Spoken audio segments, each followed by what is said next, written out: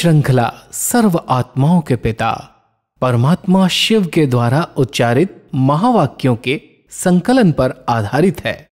Om Shanti. Godlywood studio द्वारा प्रस्तुत अमूल्य रत्न में आप सभी का हार्दिक स्वागत है। आज हर इंसान, छोटा हो या बड़ा, अपने जीवन में एक दूसरे से सम्मान प्राप्त करना चाहता है। थोड़े समय के सम्मान के लिए इंसान धन भी खर्च करता है, परंतु परमात्मा बताते हैं कि सदा काल का और सच्चा सम्मान प्राप्त करने का आधार है सदा स्वमान में रहना। आज ईश्वरीय महावाक्यों द्वारा हम भिन्न भिन्न स्वमानों व स्वमानधारी आत्मा के लक्षणों को गहराई से समझेंगे और इन महावाक्यों के स्पष्टीकरण के लिए हमारे मध्य हैं प्रजापिता ब्रह्मा कुमारी ईश्वरीय विश्वविद्यालय के वरिष्ठ राजयोगी शिक्षक आदरणीय राजू भाई साहब। भाई साहब आपका आज के एपिसोड में बहुत बहुत स्वागत है। ओम शांति। साहब आज हम बात करेंगे 30 नवंबर 79 के महावाक्यों पर जिसका टॉपिक है स्वमान में स्थित आत्मा के लक्षण। भाई साहब परमात्मा कहते हैं कि एक बेहद के बाप के इतने बच्चे ऐसे योग्य बनते हैं। अब सोचो कि सभी कितने पद्मा पदम भाग्यशाली हैं। अब तक भी भक्त लोग आप नंबरवार देवता धर्म की आत्माओं के दर्शन के लिए प्यासे हैं। चेतन में ऐसे भाग्यशाली बने हैं, ऐसे योग्य बने हैं, तब तो अभी तक भी उनके दर्शन के प्यासे हैं। इसलिए बाप दादा को सोलह हज़ार की माला के लास्ट दाने पर भी नाज है। चाहे कैसे भी हो, अलबेले पुरुषार्थी हो, मध्यम पुरुषार्थी हो या तीव्र पुरुषार्थी हो।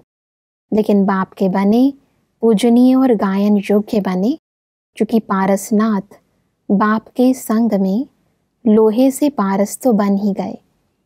पारस की वैल्यू ज़रूर होती है, इसलिए कभी भी समान में अपने को कम नहीं समझना। तो सब समान की इस ऊँची स्थिति को थोड़ा और स्पष्ट करें। क्योंकि जब हम परमात्मा के बच्चे बनते हैं, उनकी पालना में आते हैं भले पुरुषार्थ हमारा कभी कम भी होता है कभी ज़्यादा होता है। परमात्मा कहते हैं बच्चे बने संग में आए तो संग का रंग तो लगता ही है। जी। तो पारस के संग में लोहा अपने आप पारस बन जाता है। हाँ जी। ऐसे ही परमात्मा कह रहे हैं कि अगर सोलह हज़ार का लास्ट मणका भी है तो भी वो पूजनीय और गायन योग्य है। क्योंकि परमात्मा के कार्य में किसी न किसी रूप में तो मददगार बना है। और एक बार मेरा बाबा कहा है पहचान करके कहा है तो वो पूजनीय और गायन योग्य तो बन ही जाएगा। जी। पुरुषार्थ के आधार से पद नंबरवार हो सकता है। क्योंकि अगर उसका अलबेलेपन का पुरुषार्थ है मध्यम पुरुषार्थ है तो पद में कमी हो सकती है। लेकिन एक पूजनीय के रूप में गायन योग्य तो बन ही जाएगा क्योंकि उसने संगम युग पर परमात्मा को पहचाना है। जी। उसकी गोद ली है उसके संग के रंग में रहा है तो उसके कारण उसका महत्व बढ़ गया। तो परमात्मा कहते हैं लाश दाना भी बहुत श्रेष्ठ है क्योंकि देवता के रूप में उसकी पूजा हो रही है। बिल्कुल। उसके द्वारा कई आत्माओं की मनोकामनाएँ भी पूरी हो रही हैं। तो पुरुषार्थ के आधार से पदवी नई दुनिया के अंदर अलग अलग हो सकती है लेकिन पूजनीय और गायन योग में नंबर उसका भी आगे आ जाएगा। कई बार अपने पुरुषार्थ को देखकर इंसान को अपना स्वमान याद नहीं आता क्योंकि हम सोचते हैं कि शायद हम उस लेवल के नहीं हैं। वो समझता है कि शायद मैं कोई पुरुषार्थ करता नहीं हूँ इसलिए मैं कमज़ोर हूँ निराश हो जाता है उदास हो जाता है। तो परमात्मा उसको समान स्मृति में दिला रहे हैं तुम परमात्मा के बच्चे तो बने हो अच्छे संग में आए हो अच्छा भोजन कर रहे हो अच्छे वातावरण में पढ़ रहे हो तो तुम बहुत श्रेष्ठ और महान आत्मा हो। इस ऊँचे समान में स्थित रहो तो कभी भी जो कमज़ोरी है भी वो समाप्त हो जाएँगी। बिल्कुल। परमात्मा कहते हैं कि स्वमान में रहने वाला कभी भी अभिमान में नहीं आ सकता। वह सदा निर्माण होता है। जितना बड़ा स्वमान उतना ही हांजी में निर्माण। स्वमान वाला सबको मान देने वाला दाता होता है। छोटे बड़े, ज्ञानी अज्ञानी, मायाजीत या मायावश, गुणवान हो या कोई एक दो अवगुणवान भी हो। अर्थात गुणवान बनने का पुरुषार्थी हो लेकिन समान वाले सभी को मान देने वाला दाता होते हैं। वर्तमान समय जो अपने ऊँचे नशे समान में रहते हैं जी। उसमें देह अभिमान नहीं है क्योंकि आत्मा का मान स्व माना मैं आत्मा। जी। तो आत्मिक स्वरूप में जो स्थित रहता है अपने उस आत्मा के समान में जो रहता है कि मैं एक श्रेष्ठ आत्मा हूँ महान आत्मा हूँ तो महानता यही है कि उसके अंदर निर्माणता है। अगर उसका अपना अभिमान है माना वो देह अभिमान है स्वमान नहीं है तो जहाँ स्वमान है आत्मिक स्थिति वाला मान है वो आत्मा ही दूसरों को मान दे सकती है। हम्म। सबको रिस्पेक्ट देगी चाहे वो कमज़ोर हो माया वश हो या माया जीत हो।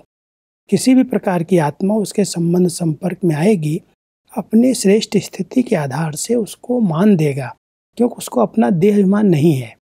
जिसको देह अभिमान होता है वो दूसरों को रिस्पेक्ट नहीं दे पाते। मान नहीं देते वो समझते मैं ही सब कुछ हूँ। हम्म। तो मैंपन जो देहमान वाला उल्टा नशा वो अवज्ञाएँ कराता है हाजी करने नहीं देता है और दूसरों का रिस्पेक्ट रखने नहीं देता। हम्म, लेकिन जो समान में रहता माना आत्मिक स्थिति के मान में रहता है आत्मा को इतने ऊँचे नशे में रखता है कि मैं हूँ कौन? किसकी बच्ची हूँ?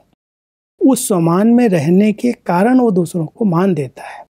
और आगे बढ़ा करके चलता है तो उसको खुद सबका सम्मान प्राप्त होता है।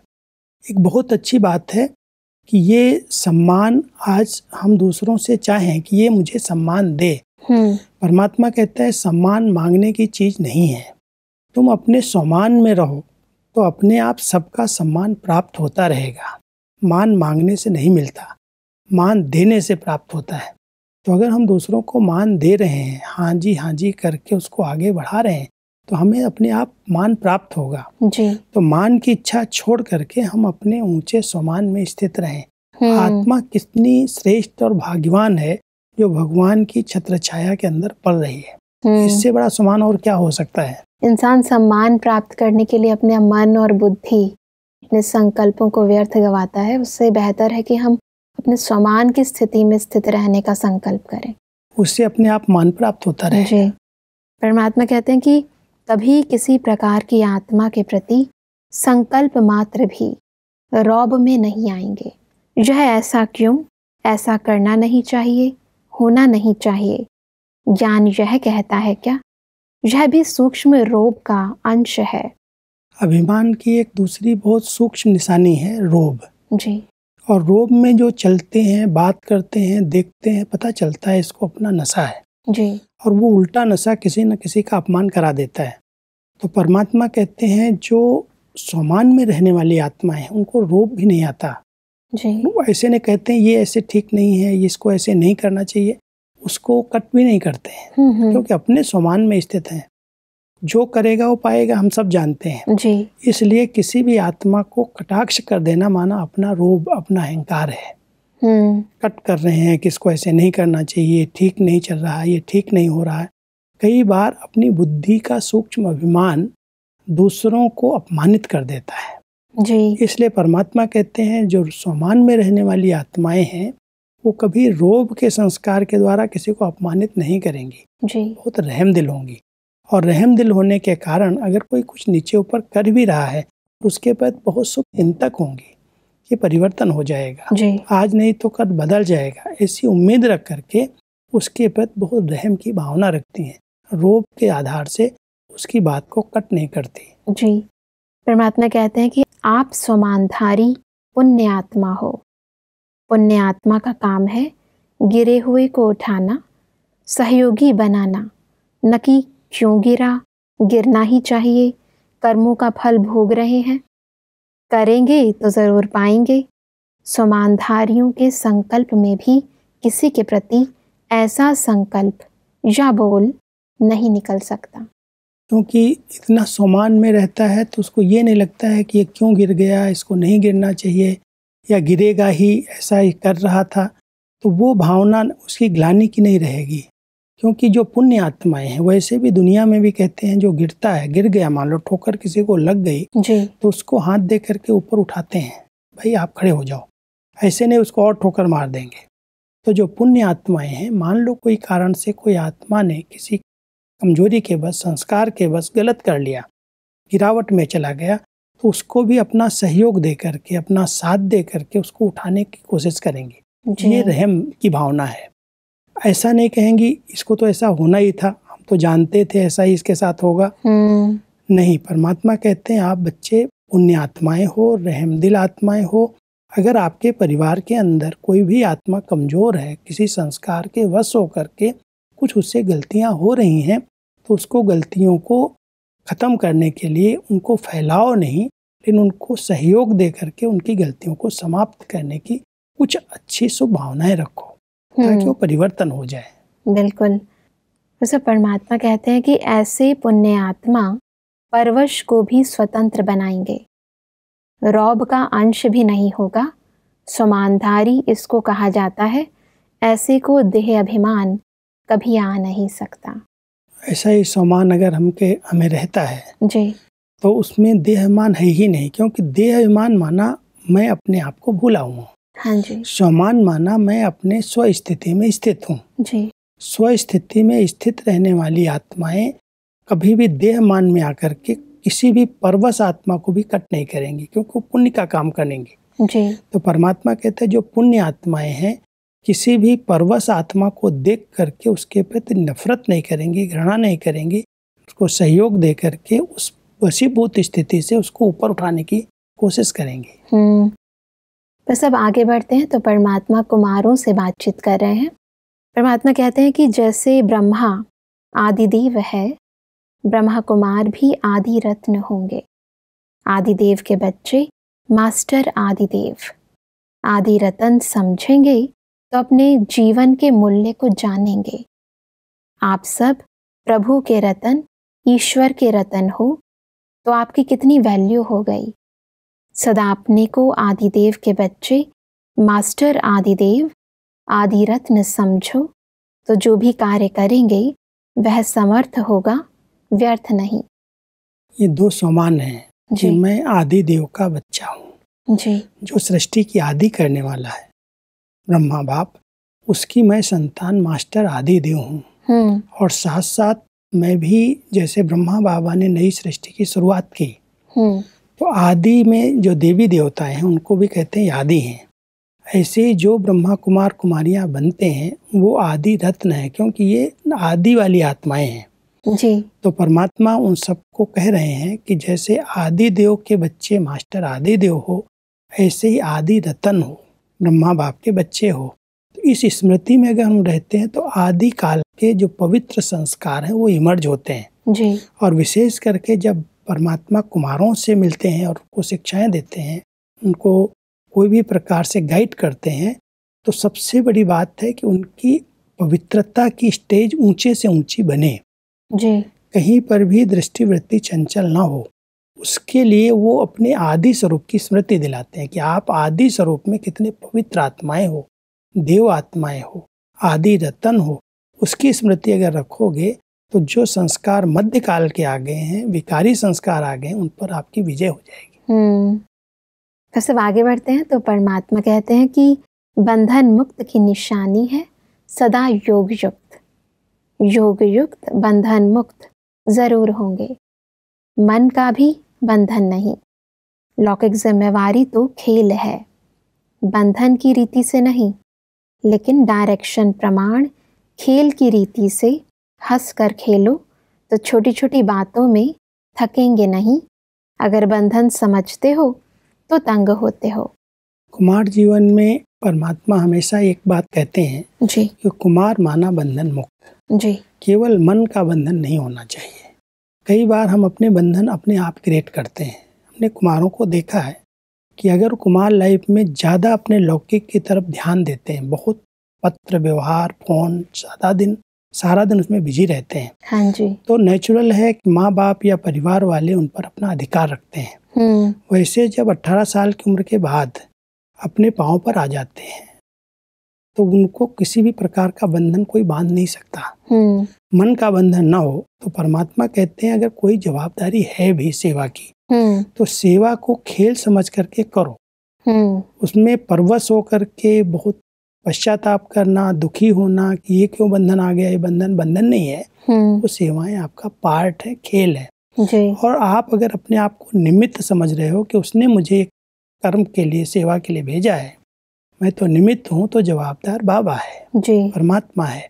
आप खेल की रीति से खेलो कभी भी बंधन में नहीं बंधो तो आप सदा योग युक्त रह सकते हो। हम्म। आपकी बुद्धि परमात्मा में लग सकती है। नहीं तो कई प्रकार की जवाबदारियाँ जब हम समझते हैं मेरे माता पिता हैं मेरे भाई बहनें हैं मेरी ये जवाबदारी मेरी जवाबदारी तो कई लोग अपने आप को कहीं ना कहीं या प्रॉपर्टी में अपने आप को बाँध लेते हैं या संबंधों में बाँध लेते हैं। जी। लेकिन अगर उन सबसे मुक्त होना है तो हम खेल की रीति से पार्ट बजाएँ अपना समझ करके नहीं लेकिन परमात्मा ने ये सेवा दी है क्यों क्या न करें बहुत हल्के होकर के पार्ट बजाएँ और न्यारे हो जाएँ। तो हम हम्म, बंधन मुक्त रह सकते हैं और बंधन मुक्त हैं तो सहज योग युक्त बन सकते हैं। बिल्कुल। परमात्मा कहते हैं कि अपने को अकेला समझते हो तो थक जाते हो। सदा यह समझो कि हम दो हैं।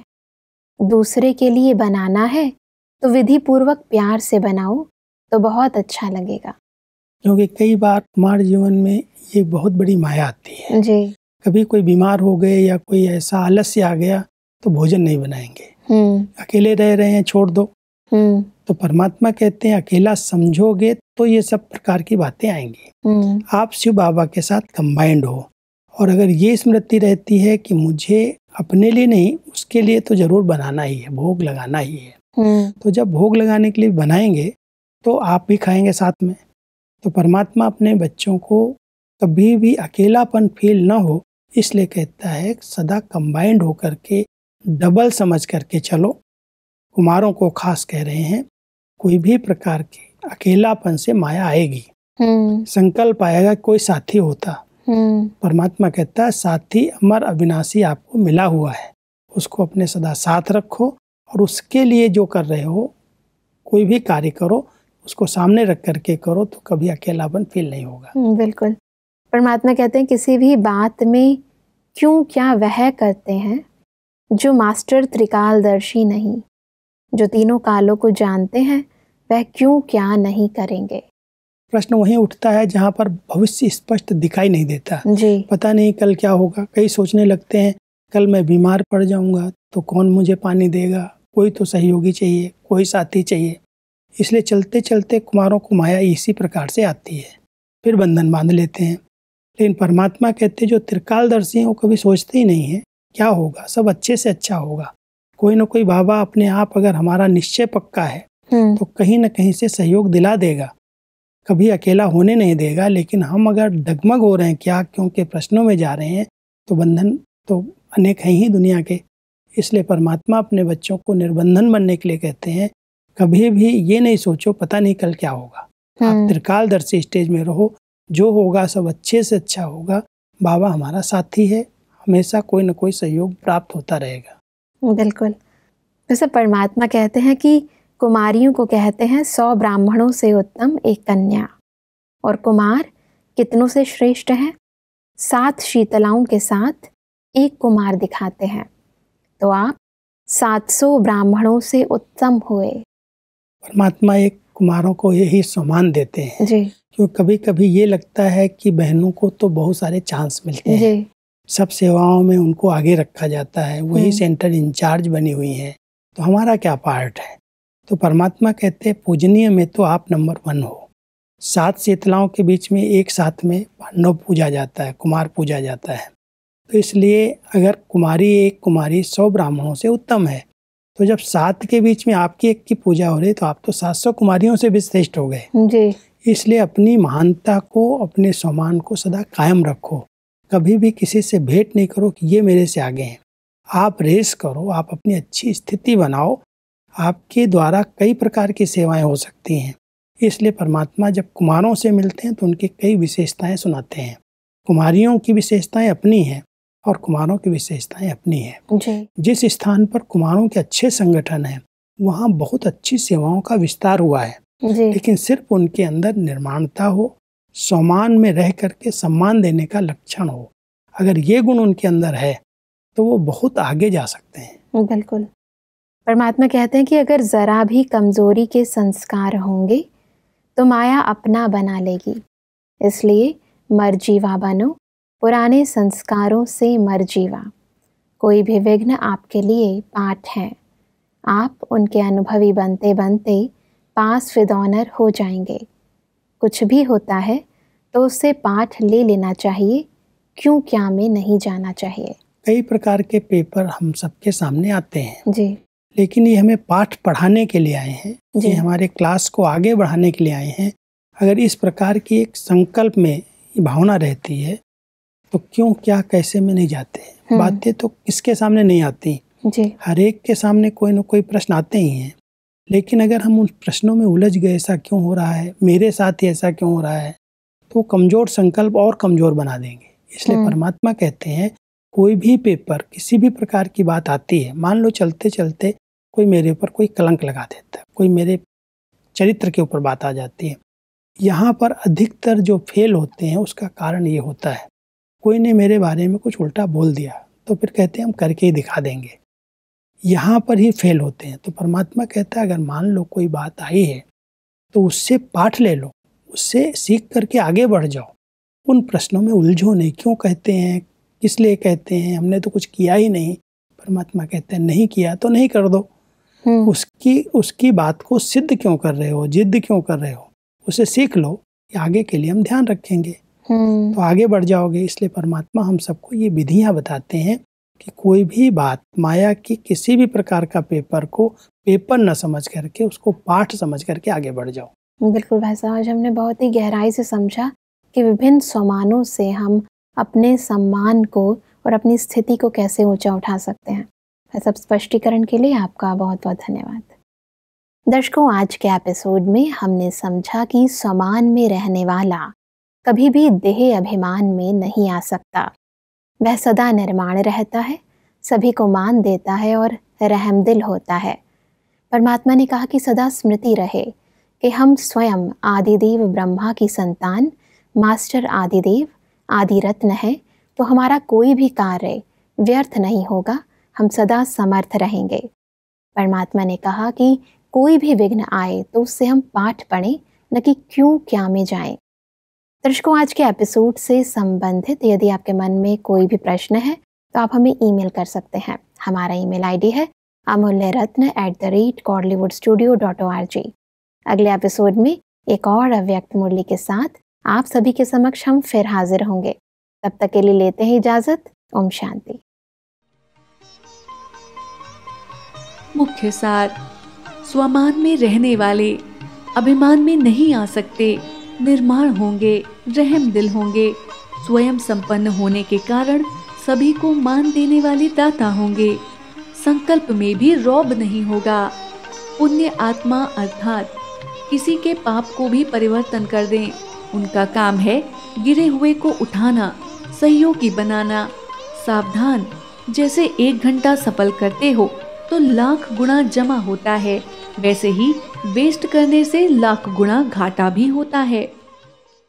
अधिक जानकारी के लिए संपर्क करें। Amulya Ratan, Godlywood studio, Manmohini Van, Shanti Van post, Abu road, तीन शून्य, सात पाँच, एक शून्य district Sirohi, Rajasthan. Email ID है Amulya Ratna at Godlywood studio dot O R G. इस श्रृंखला को प्रजापिता ब्रह्मा कुमारी ईश्वरीय विश्वविद्यालय के सेवा केंद्रों पर क्लास में नियमित रूप से चलाने के लिए गॉडलीवुड स्टूडियो से संपर्क करें।